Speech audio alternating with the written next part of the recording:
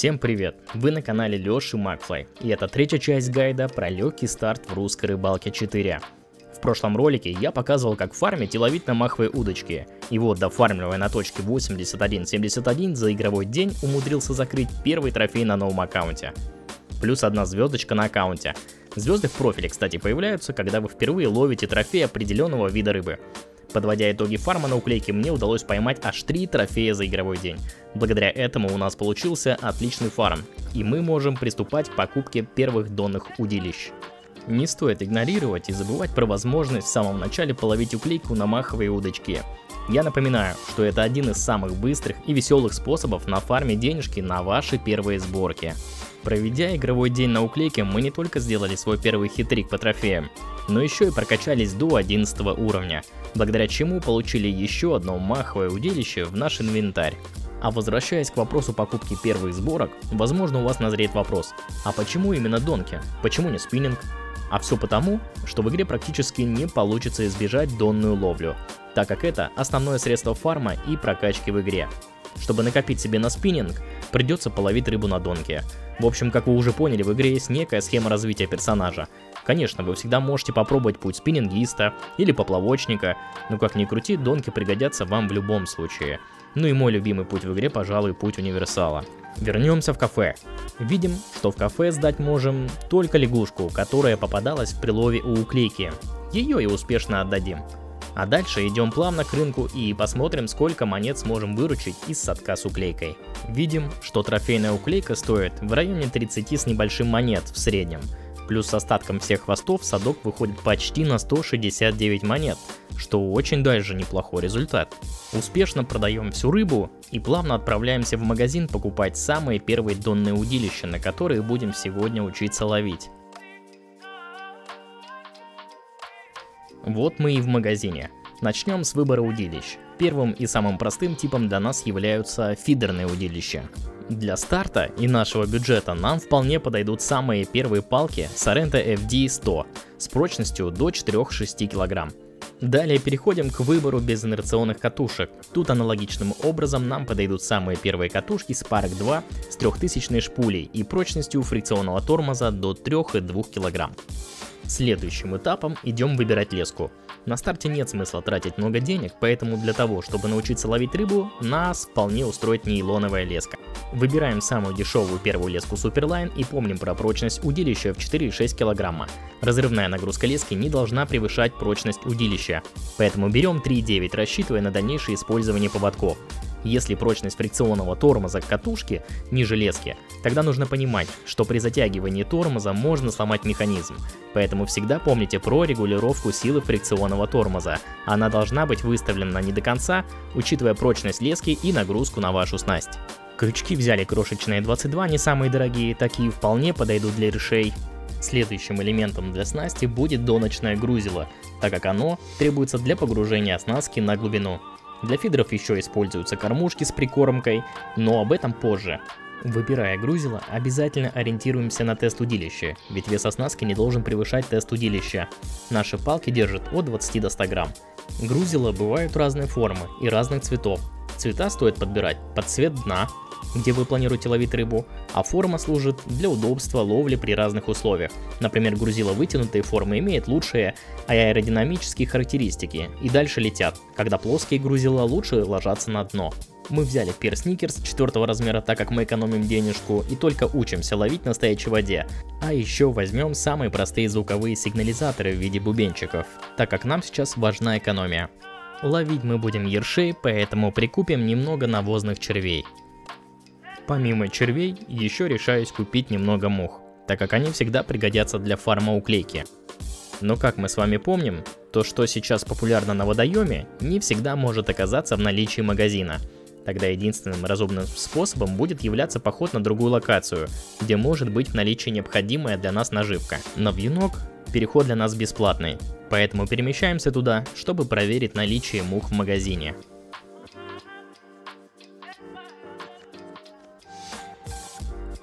В магазине открываем нужную нам наживку и видим, что она имеется в наличии. Нам очень повезло. Берем нужное нам количество для рыбалки и успешно возвращаемся на Комариное озеро. На улице вечер, а значит самое время бежать на популярную точку, где часто ловят ерша. 87-87.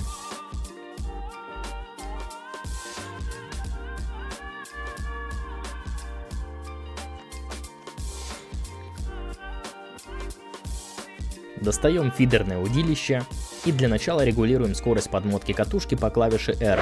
Для донки комфортнее выставлять ее на максимум. Фрикцион установим наполовину через движение колесика мыши вверх. 14 нам хватит для иршей. Клипсу выставляем на 10 метров с помощью клавиш Ctrl+. Клипсование – это фиксация дальности заброса при помощи заведения лески или шнура за клипсу шпули. Она позволит вам делать заброс на фиксированном расстоянии до 10 метров, Простым языком, клипсование нам позволяет закидывать в одну и ту же точку, где клюет рыба. Проделываем все эти настройки аналогично на всех трех наших утилищах. Скорость подмотки, фрикцион и клипсование может периодически сбрасываться при перезаходе в игру, поэтому всегда проверяйте настройки перед забросом. Вот мы и начали ловлю ирша на донке. Ждем сигнала бубенчиков и фокусируем наше внимание на кончике удилищ, так как на них воспроизводится анимация поклевки. Со старта небольшой лавхак с багом. Если удилище долго трясется или молчит, проверьте его, наведя на него мышкой и нажав клавишу G. Если информационное окно удилища моргает, значит рыба подсеклась на одном из удилищ. Это помогает узнать о поклевке, не поднимая удилище. Первый ёрш в садке. А ёрш это хороший фарм, поверьте. После заброса леска часто провисает, поэтому наведя мышкой на удилище, просто зажимаете клавишу Y для подмотки этой лески. Теперь мы начали прокачку до ночной ловли. А также тем временем у нас накопилось 10 очков навыков, которые мы можем куда-нибудь вложить. Я прошу вас не торопиться с очками навыка и с умом их вкладывать в те оснастки, которые вам действительно понравятся. Ну а первые очки вы спокойно можете вложить в использование безинерционной катушки. Он значительно повысит дальность и точность заброса, сделав вашу рыбалку намного комфортнее. А также этот навык распространяется на все виды ловли, если вы будете использовать безинерционную катушку. Вложились в дело, гуляем смело. Теперь, пожалуй, вернемся к рыбалке. Ух ты, а у нас тут целый бубенцовый звон. А вот и пример работы фрикционного тормоза. Он у меня был не затянут, и рыба спокойно осталась на крючке, и индикатор нагрузки на снасть вполне себя чувствует комфортно. И вот только теперь мы можем понемногу начать прибавлять фрикцион, чтобы рыба скорее вымоталась и устала. Это был достаточно сильный линь, всегда хороший соперник на начальных уровнях и слабых удилищах. Достаем следующую рыбу и видим, что в прилове тут могут попадаться абсолютно разные рыбки, помимо нашего целевого ерша. И помним, что в самом начале ёрш достаточно желанная рыба и очень хорошо фармится. Ну и в принципе здесь всегда можно поймать трофей, а это картинка на комарином. Поэтому давайте посмотрим, что у нас получится за эту ночь.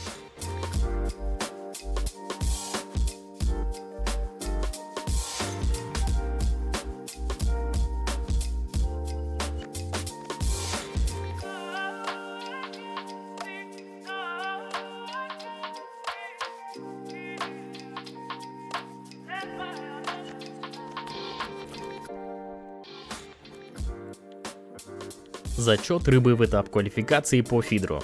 Этап первый. Поймать 5 видов рыб, используя фидерное удилище.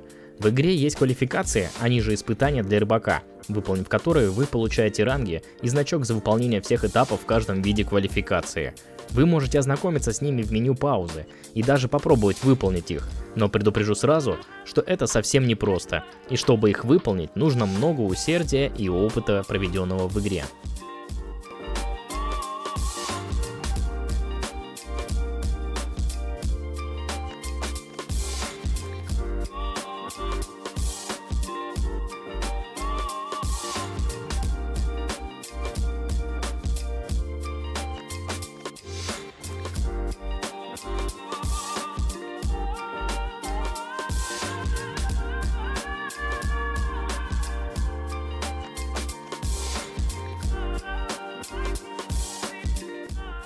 Вот такая первая ночь на Донке получилась. Пора сходить проверить экономику нашего садка.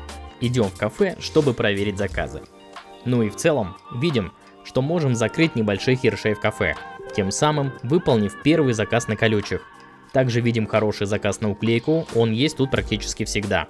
Остальное придется сходить и продать на рынке.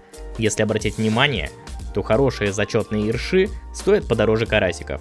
В целом, Непоказательная ночь, пока всего 65 монет, но уже можно сделать вывод, что день на уклейке пока лучшее, что мы можем себе позволить по фарму. Давайте покажу еще лайфхак ценой в 3,5 монеты. Покупаем билет и идем на наш любимый пирс. Прибегая на точку, где фармятся караси, мы садимся в лодку, используя наш билет и просто отгоняем ее куда подальше, чтобы она не мешала комфортно ловить любимых карасиков. Я надеюсь вы поняли, что это не призыв к действию, а просто одна из вариаций комфортно на любимой точке, если вы решились провести не один час в игре. Припарковались, вышли на берег и отправились на свой родной пирс, половить карасей на донке.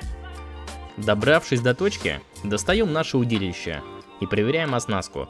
Прикидываем средний размер карасей и понимаем, что крошечными 22 крючками будет ловить проблематично. Поэтому я принимаю решение сбегать до магазина и прикупить крючков нужного размера для наилучшего результата по карасю. Оптимальные размеры крючков для карася от среднего 6 до одного большого классического крючка. Нам с вами будет достаточно пока среднего 6 размера. На большой один вы будете ловить, когда у вас будут бойлы и разного рода примочки в виде ПВА. Поэтому отправляемся в раздел с классическими крючками. Находим нужные диапазоны размеров по моделям крючков, прицениваемся. Предлагаю исходить из стоимости и здравого смысла. Поэтому нас вполне устроит пока что золотая серединка. Не всегда есть ходовые дешевые варианты в наличии, поэтому придется смотреть варианты подороже. Но с другой стороны, меньше процент на сход рыбы. Пожалуй, возьмем Happy Hook. Надеюсь, они принесут нам удачу при ловле карасиков. Берем по одной штуке для каждого удилища и плавно отправляемся за карасем минус 51 монета. Кто-то скажет дорого, возможно, но я так чувствую. Поэтому оставим этот выбор на усмотрение каждого. Напомню, что удобнее всего переходить в редактор оснастки удилища через клавишу V. Ну а далее мы меняем наши крошечные крючки на средний шестого размера. А из наживки выбираем все, что любит карась и что у нас есть в инвентаре. Сладкое тесто, манная каша, перловка. Все это вполне сойдет за питательный рацион карася. Наиболее удобная клипса на этой точке 8 метров, поэтому будем придерживаться этой дистанции.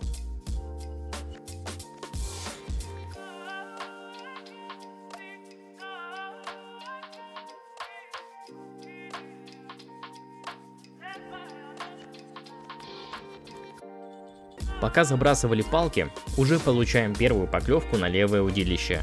Напоминаю, что следить нужно за кончиком удилища и поведением лески.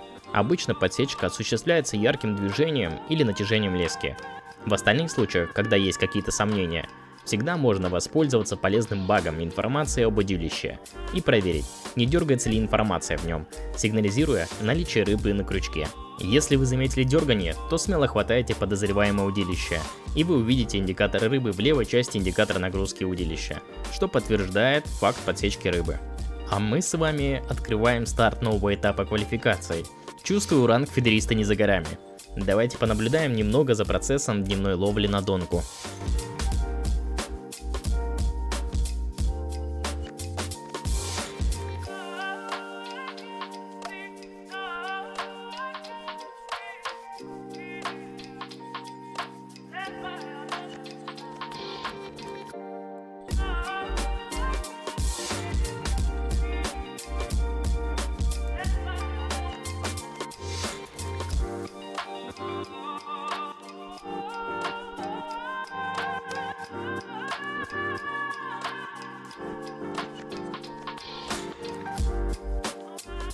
Прямо на этой же точке при наступлении ночи просто заменил крючки на крошечные 22 и поменял наживку на навозного червя, и как результат клев ершей обеспечен, а в чате также проскальзывают трофейные экземпляры.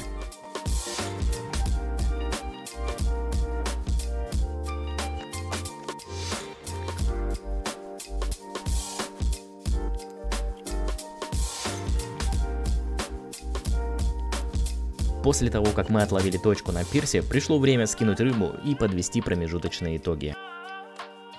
Из того, что мы наловили, сдать скорее всего на заказ можем только золотых карасей. Сортируем их по массе, чтобы отдать самые подходящие хвосты, остальное придется продать на рынке.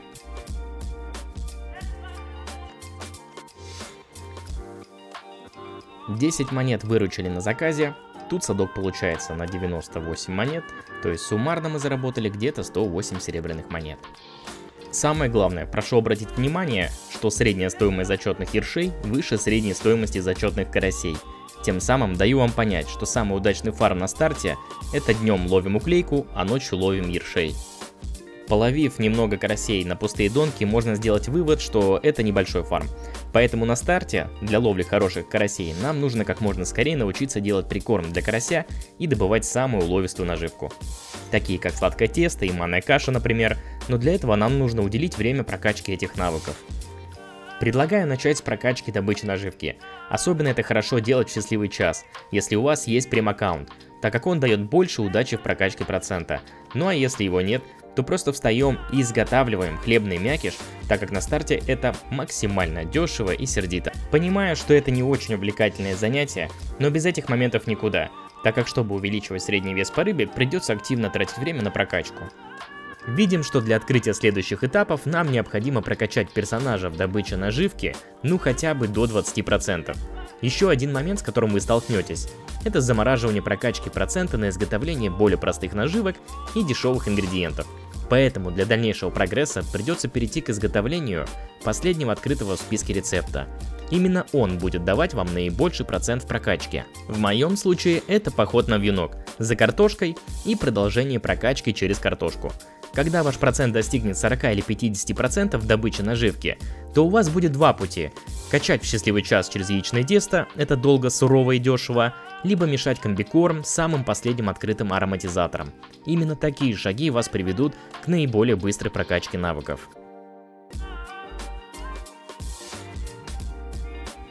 Ну, после практики в прокачке наживки, последнее, что я хотел бы показать на сегодня, это небольшой апгрейд наших фидерных удилищ, а именно классическая фидерная оснастка с поводками и кормушками. Из того, что нам нужно в первую очередь, это три флюрокарбоновых фидерных поводка для наших удилищ. Далее переходим в раздел оснастки, находим раздел с грузилами и выбираем подраздел кормушки.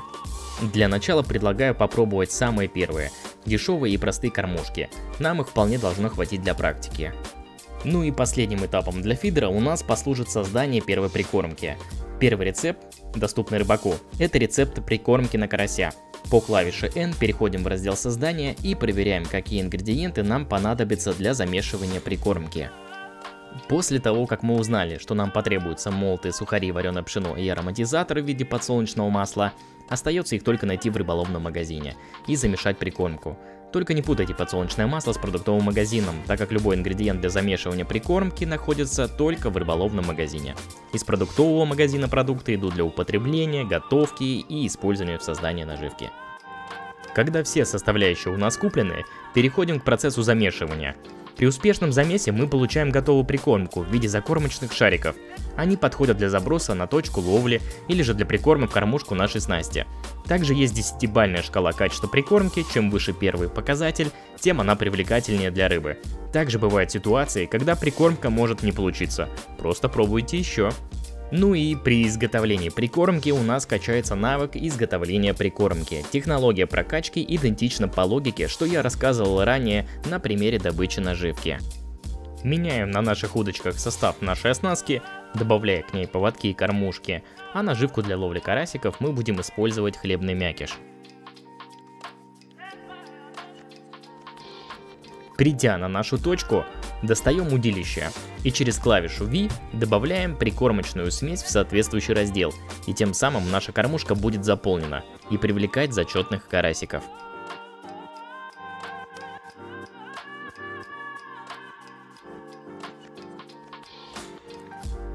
Ну, теперь мы познали дзен фидерной-донной ловли. Естественно, пока лишь только азы, но даже при этих знаниях мы можем вполне начать высиживать зачетных карасиков и, естественно, трофеев. Через клавишу U вы можете выбрать доступную прикормку, тем самым взяв ее в руки и закидать точку для улучшения клева. Единственное, старайтесь удерживать левой кнопкой мыши нужный процент для попадания на расстояние клипсы. В нашем случае процентов 50 будет достаточно. Еще самое главное, не перекармливайте точку. 8-10 шариков по периметру будет достаточно, и в среднем они действуют от 12 до 18 игровых часов, поэтому смысла закармливать чаще попросту нет, а отбить желание клевать у рыбы – это всегда пожалуйста. И вот после успешного применения прикормки и кормушек мы с вами можем наблюдать, насколько приятнее стали ловиться карасики. Ну и дальнейшее применение кормушек и прикормки ускоряет прокачку, выполнение квалификаций, так как привлекает больше разнообразия рыбы. Наверное, это все, что я хотел рассказать на данном этапе погружения в мир русской рыбалки 4. И, наверное, следующим этапом будет важно рассказать про спиннинговую ловлю. А вообще, мне бы хотелось, чтобы вы написали в комментариях, какие темы вы хотели бы разобрать. Это может помочь мне сюжетом следующего ролика. Надеюсь, видео оказалось для тебя полезным, поэтому с тебя лайк, подписка, а с меня еще много полезного и интересного контента. На связи был Леша Макфлай. Чао, какао!